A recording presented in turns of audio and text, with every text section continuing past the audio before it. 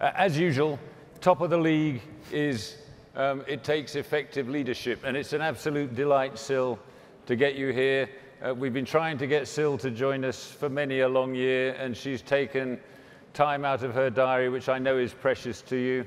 Um, I've always admired the work that you've done through various companies. You've now been, uh, to pick up on Martin's theme, for the last six years, Chief Marketing and Innovation Officer at Diageo, and we're really thrilled to have you here. Um, and we're going to wander through a few subjects here um, in the time remaining. But let's start with leadership. Uh, and I think, as we know, marketing's a we thing, not a me thing. It and in is. order to extract the we thing, you have to be a great leader. Uh, tell us about your leadership style. Simple question to start. Um, and I don't even have a Portugal shirt or anything else to warm up the audience. I thought that was brilliant, Jeff. I don't know if he's still Yeah. here, but it was absolutely brilliant. Uh, I guess I start by rooting myself in uh, our company strategy and our purpose. Now, the conversations that we've been having about creativity and the fact that that seems to have slipped down our agenda and we're going to bring it back is really important.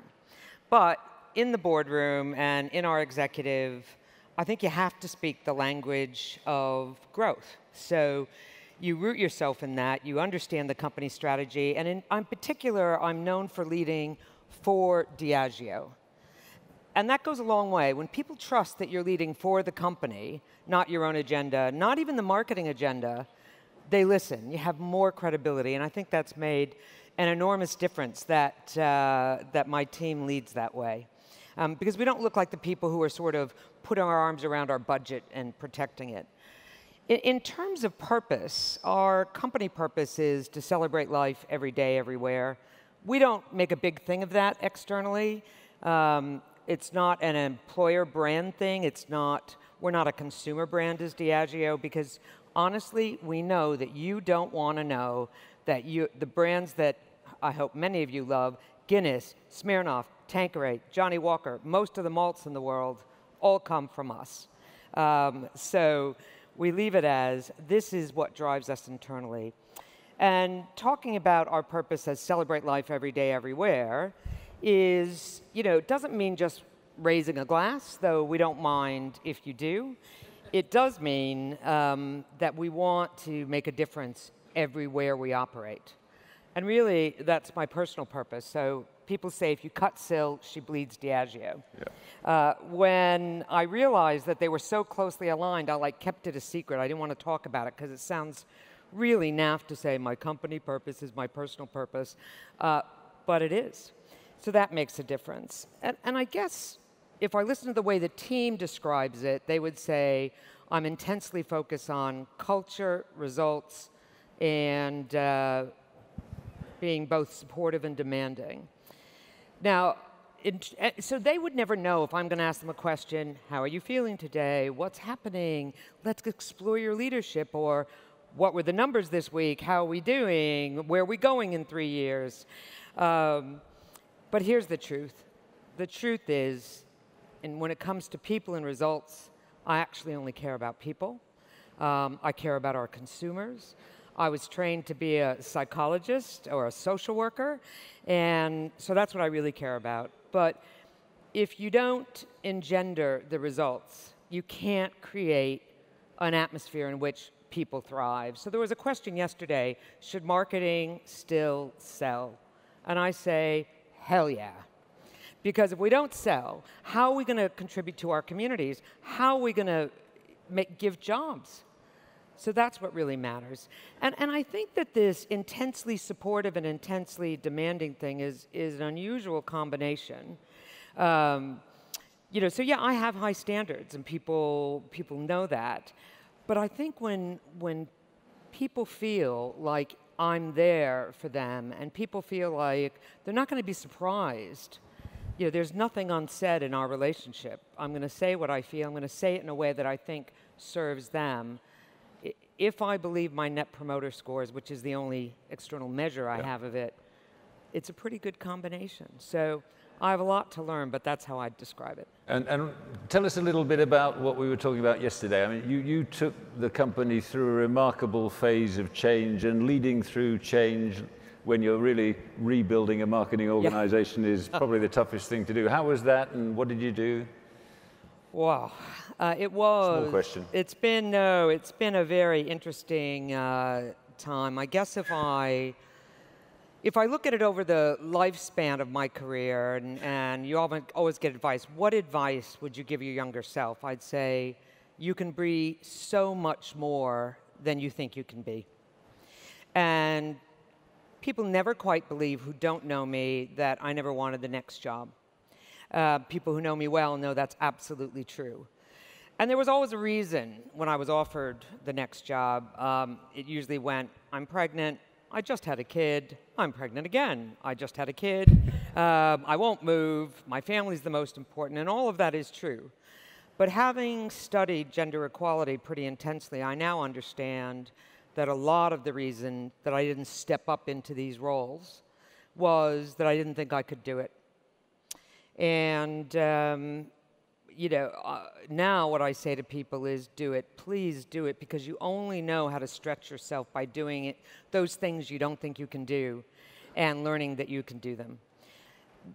The other thing for many people, and this is a, a personal topic that hasn't been discussed uh, that much, but um, let me just do a temperature check. Anybody have an inner critic in their head, a voice? Hands up. Inner critic in your inner head. Inner critic. I'm really curious to know if those that don't put their hands up either don't know what I'm talking about or are lying. Uh, so I'll, I'll, talk about a person because it may not apply to everybody. But, but listen, I've learned to tune out the inner critic when it matters. So if I were to listen to myself right now, if I give you an in the moment example, here's what I sound like. And the reason that I have my iPad to keep me on track, because I think I sound like, oh, I'm rambling, I'm not making sense, oh, they're on their phone over there, I don't think they're tweeting, they're bored out of their mind, my God, I'm boring them and they're going to leave soon. That's what it feels in my head.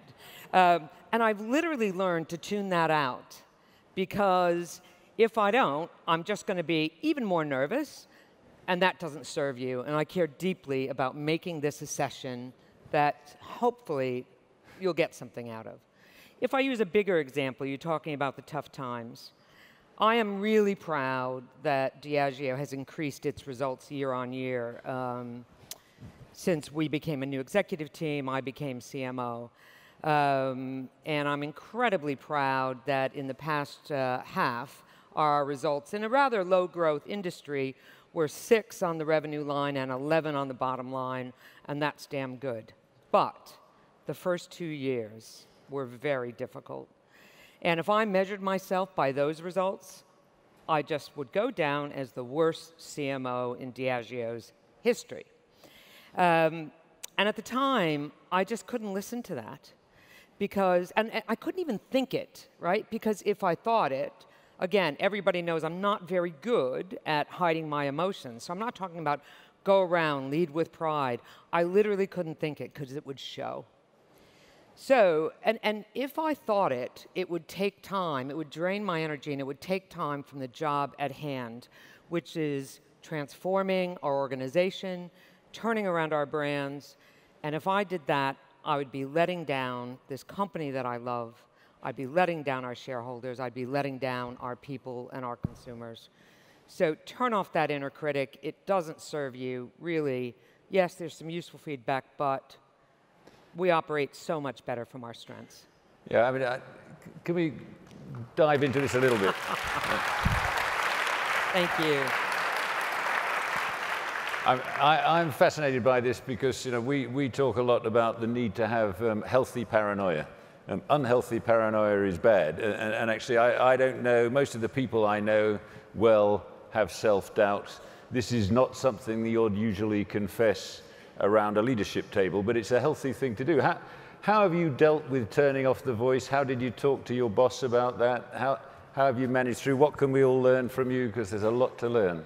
I think, I mean, one of the reasons I'm happy to put this topic into the room is I think the more we talk about it, the more it becomes okay. And and uh, you know those things that you repress if you are not feeling like you can be your authentic self at work I think it stifles performance. Yeah. It takes a lot of energy to put on that, put on that charade. Um, so I think it belongs out there. Um, and I think, I, am not sure if it's right. I mean, uh, top right from Paranoia, uh, one of my uh, executive coaches, my, well, I haven't had, I've only had one, she's amazing, uh, Martha Graham, she put it to me this way. She said, Syl, when are you at your best? When you are free and in the flow, which is how I am with my family, or when you're uptight and overprepared? And the answer is free. So this is a very open conversation um, in Diageo. This is a conversation we would have at the exec in, at the exec table, and our leadership training engenders us standing up in front of a couple hundred people and telling our story. And I remember once I was talking about something and I was actually reflecting back. I was summing up the session. I was reflecting back on something that other people in the audience had said. And I felt very emotional about it. And I'm not good, you might have guessed, I'm not really good at showing the emotion uh, in my voice. It's always like, oh, I'm very confident. I know everything. I'm just fine. That's the voice, right? That's not the emotion. So I cry a lot. And I was on stage and I started to cry and I shut my eyes and said, Beam me up, Scotty. and, and I opened them, and people were on their feet clapping. I mean, I was mortified, but they were on their feet clapping. And I went off and I said to the person that you should be able to trust the most in the world, my assistant, and uh, I said, Why are they clapping? That was so humiliating. And she said, It was human, and wouldn't you? So I think this is, this is a great place companies could be, this conversation. Because then I know if you tell me what you're worried about, if you tell me what you're afraid of, I can help you. I'm yeah. a very good coach. I Can we do that now? Sure. no, I, no, I also think you know, one of the things you've talked about, uh, and I've followed you a lot on this, is you're very passionate about diversity. I am. Uh, diversity in the workplace, and some of the initiatives you've taken, uh, people in Portugal probably won't know about. So, so can we take this a little bit into the diversity space and tell us what you've been championing? Oh, my favorite space. Um, listen, we've talked a lot this week about our collective power. and if you think about it, culture, society, has been shaped through the millennia by storytelling. And what is all of our content? Our content is storytelling backed by trillions of dollars. And boy, that is going to shape society. So, what we show, honestly, what we in this room show shapes who people think they can be. And that matters. So, when we sh- uh, take shortcuts and we show content that is stereotyped, I think that's what we're going to get back. We're going to get an unrealistic expectation. Um, and there's all kinds of stereotypes that we should be defeating, but I, I believe in having a focus at first. And um, so I was very, very impressed and shaken a bit hearing the stats at Cannes. Um, you know, when Keith and Unilever and the Unstereotype Alliance started talking about the fact that they hadn't moved, Marc Pritchard and the Geena Davis Institute you know, a study of 10,000 ads, and we have not made progress in a decade despite all the talk. That really shook me to the core. So we immediately, we immediately joined the Unstereotype Alliance, but we also went back and looked at our own advertising and said, how are we doing? And the answer was not good enough. So I'd say we, we, we were a bit behind, but I'm very proud of how quickly we moved to address it. So we, uh, you know, we're very good at internal development. We're very good at training. We developed within six months the training, rolled it out to 1,200 marketers and of all of our agencies. We signed up to free the bid, and we are happily sharing our content, our stories, and happily talking about where we get it right and where we get it wrong externally. I, I know I, have heard Ivan talk about this, and I, I, think he was slightly concerned that you were giving everybody a competitive advantage that you built for Diageo. Yes. I mean, how did you manage that dialogue? Because I think it's wonderful that you share it, by the way, and really important that people see the work you've done. Yeah, it's, it's, it's an open, listen, it was a really open conversation. I think that our competitive advantage is really in our creative capabilities and our ability to measure where, whether it's working and to keep experimenting. And I think that's what our competition needs to uh, keep up with. And in this case, the conversation we had is I think that the, um, the benefits of sharing it far outweigh the risks, and Ivan does too. I mean, he is absolutely Great. behind this because courage is contagious, right? And what I wanted people to see is do we have all the answers? No. But were we willing to put our heads above the parapet and declare a position? Yes. And I really invite everybody to join us and the other companies in doing that.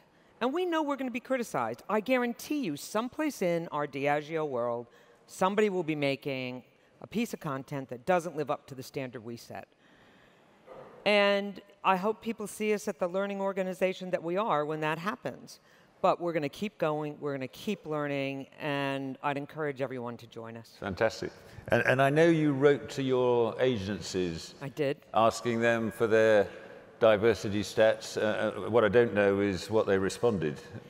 You know, they, they, they were great. Um, people were really forthcoming in sharing. Uh, the, the numbers were good. Um, I was talking to the drum about this today, and I don't know if it's a like for like measure, but it looks like our agencies are a bit better than the averages, uh, a lot better from the averages, and that's not surprising given what we look for.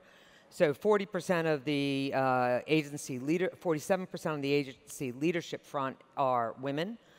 Of the ones that we surveyed, we're happy about that. 45% of our marketing leadership at Diageo are women. 40% of our executive, which is pretty darn good for a uh, large FTSE company. Um, so that's, that's critical. Creative leadership, which in the UK stands at 12%, in our sample was 39%. But when you cut it down to the top agencies, it's 24%. And that's not good enough. So that dialogue will continue. But in the meantime, what I was listening for was to have real empathy and understand from the agencies what are their issues. And one of the things we heard was we lose women at really critical times in their lives, times when they need to become carers of children or parents. And so we started working with a fantastic organization called Creative Equals. Yeah. And they do terrific work. And they um, were putting together a returners scheme, which we agreed to sponsor. And it provided training for really talented women, 50 really talented women and uh, we gave them two briefs. And I'm not talking small little brands that we might have, you know, in Venezuela somewhere. I'm talking Baileys and Guinness. And uh, what a day it was for the members of my team who attended. They said there were tears, people were excited. And one of the reasons I have my trusty iPad here is um, you had mentioned you wanted to talk about this, and I, I want to share what uh, I, I, wrote to uh, one of the planners who was there, and I said, How'd it go? How was the work? Um, what did you hear? And, and here's what she said back from this day of listening. We were listening to the responses to the brief. It was a flood of creativity, and our brands were lucky to have it unleashed on our issues. We saw ideas on both Baileys and Guinness that lifted and delighted us. We got unexpected ideas powerfully and simply expressed with personality and flair. Wow. Now, how many creative uh, reviews do you go into or that, that is the feedback and it's so universal and this is first time out of the box and I say, well done to these women. Quite right too. Uh, the, um, another theme here, let's talk a little bit about how you build a team. So, for instance, this role, when I took this role, first time in my management career that I didn't have a single uh, female direct report. They were all men. Uh, but I did have a target, and the target was you've got to have 35% by 2020. Now I have 50 50 because that's what the population is, that's the way it should be, and I just did that. Yes. Because you, you, you, have to do things, not talk about them, not have targets. How, how have you managed that? How do you help people progress? So, I, you know, I'm proud of the company I work for because we're fantastic supporting people when they need time off, when they go off to have children.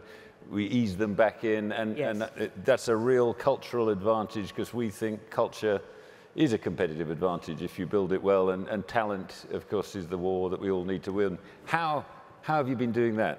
So, uh, everything you just said is right, and we do those things too. Um, a few things I would add is it varies by country whether it's legal to do this, and we operate in 180 countries, so we have to think about it. Um, but we, we think a lot about and ask for where it's legal, 50-50 um, uh, lists when we're externally recruiting. Um, we, I think, are good on the HR policy front, uh, particularly progressive in the US. We've just instituted equal uh, parental leave, so men and women taking off the same amount of time. And guess what? That changes the conversation from women having babies to people having children. And I think that is fantastic.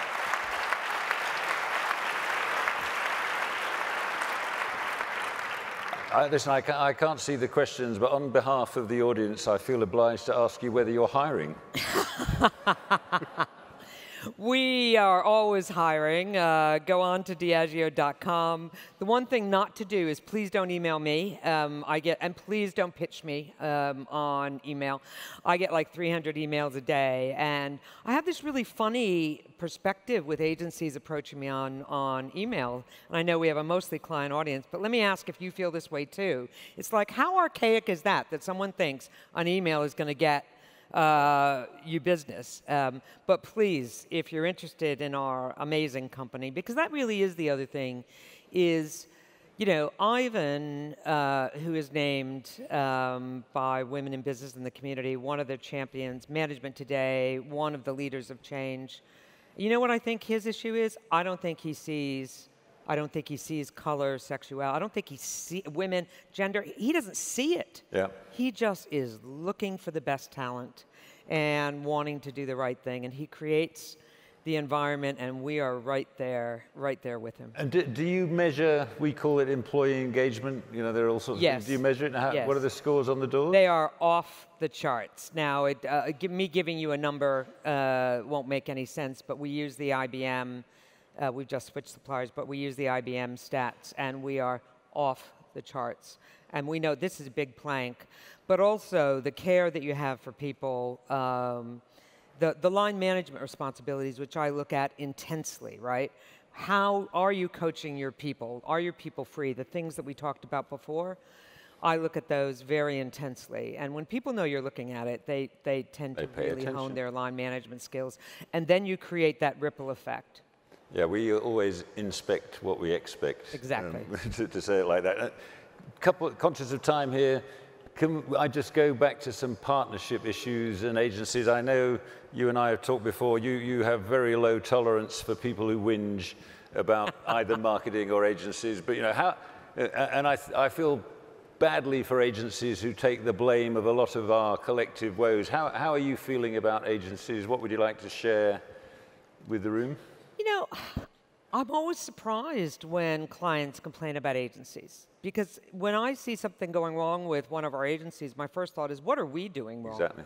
Because we are at least half the equation. So, you know, how would it sound? Let's see. I really hate the way Diageo goes about this. I really think that I'm a bad leader. I mean, I'm complaining about myself. There's, there's so much that we need to get in order. So the, the way I talk to our agencies about it, and I encourage my team to, is let's be really honest about what our issues are. Um, and I encourage our agencies to speak up and, uh, and, and then have us really listen, listen, listen, listen. Now, what I'm surprised at is, is what I talk to our agencies a lot about is how um, reluctant agencies are to do that. Because what they think is going to happen is lower down the chain with the client they deal with on a day to day basis, there will be reprisals. And can I just say, to all agencies out there, trust that we are not morons. You know, we, we are not going to go to, you know, uh, me and my senior team are not going to go um, to the brand team and say, such and such an agency thinks you have a bad brief, complains about you, and, you know, thinks you have no creative judgment. No, we're just going to insert ourselves into the conversation at the right time. We're going to ask to see that brief. It's going to make a difference. But agencies need to be brave enough to come forward. And we're doing all kinds of things internally because we want to be the best client we can possibly be because that's how you get great work. Yeah, no, you and me both. And I think, you know, one of the things we do. Oh. Thank you. Yeah, one of the things we do is we have a, I'm going to call him a coach. He's a trained psychologist. I get him to go talk to the agencies, you know, what's going on, put the truth on the table, do the other Brilliant. thing. And we score on the door. And actually, it's so easy to see incremental improvement as long as there's trust on trust. the table. So can we talk a little bit about trust, another great theme we've heard here? I know we're going off script here, but you're doing yeah, it. Yeah, yeah, that's we can fine. go script. Tell me how you built trust, trust around the executive committee, trust in your team, trust with your people, because you can feel the energy that comes yeah. from Diageo. I mean, the obvious, you know, promises made, promises kept is true. Um, I think, I, I think authenticity is an, over, an overused word, but I, I think it does lay at the core of trust um, in, in, terms of people saying what's on their mind. And I think if you listen, so, so for example, the way I run my team, lots of teams write manifestos um, about who they're going to be, how they're going to operate. And um, we have a set of company values, um, like every company does. I think they are meaningful. So when we look at ourselves as a team, we don't try to rewrite those values. Those are our values. We don't try to rewrite our company ambition. That's what it says. But teams, I think it's good for a team to engage with how do we want to operate as a team? And we could have said 100 things. And we came down to two, which is 10 out of 10 relationships, meaning we actually relate, we, we actually rate our relationships with each other. That's a very honest conversation. And when it's not 10 out of 10, we say, what are we going to do to take it there? And then the, the, the second really simple thing, nothing unsaid. There, you know, I run meetings where um, the only way you really get in trouble, you don't get in trouble for saying, you know, I think this is a crappy conversation and you're totally wrong and still, you know, uh, uh, I'm bored, I'm not really tuning into this, I'm looking at my email, why have you put together this? You don't get in any trouble for that. You get in a lot of trouble if you walk out of the room and go, well, that sucked. Yeah. Uh, you know, just say it in the room. And a lot of times people think these conversations need to happen behind closed doors. But, but the secret is a team that can have this kind of conversation openly is a team that can trust that you can do that and nothing bad will happen. Yeah. And that builds trust. Yeah, we, we, do that in our exec, and I do that with my leadership team. Wonderful. Uh, and coming to the close here, it's been great to spend time with you here. You know, what have your highlights been in these last couple of days? What would you say to the WFA about your experience here? You know, it's gonna it's gonna sound a bit sycophantic, and we know each other well enough to know that uh, I don't say anything I don't mean. Um, but I really, really think the WFA is onto something. Um, I'm not sure if everybody's seen the CMO um, charter. Not yet. It is, honestly, what it does is it describes the five challenges facing CMOs. And it's like somebody reached into my brain and put on a piece of paper what I'm worried about optimizing organizations, the future of uh, advertising. I won't go through it all, I'll leave that to you. But the things that were on my mind, and when I, and that's what we've been discussing on the whole, uh, uh, you know, plus putting creativity right back at the top of the agenda. But what was in the middle uh, gave me heart, because honestly, when I looked at those five things, I realized why CMOs, many CMOs are very stressed. Now, I'm not very stressed, I'm too old to be stressed, but many CMOs are very stressed. And it's because these are five big things. And what gave me heart was the fact that in the middle of it all, it's people centric. And I'm sure you're going to define that in different ways. But to me, what it means is it's down to us to solve these problems, it's in our hands, and we're not alone. And I think the WFA is doing a wonderful job of bringing us together to solve these issues. And I would encourage us to continue to work together, to share our problems, to have the honest conversation, to collaborate with other um, industry bodies, but let, let's make sure the dialogue about what we do is as optimistic and positive and as purposeful as it can possibly wow. be. And what a wonderful note to end on. And ladies and gentlemen, thank one of the world's great CMOs, Syl. Thank you. Thank you.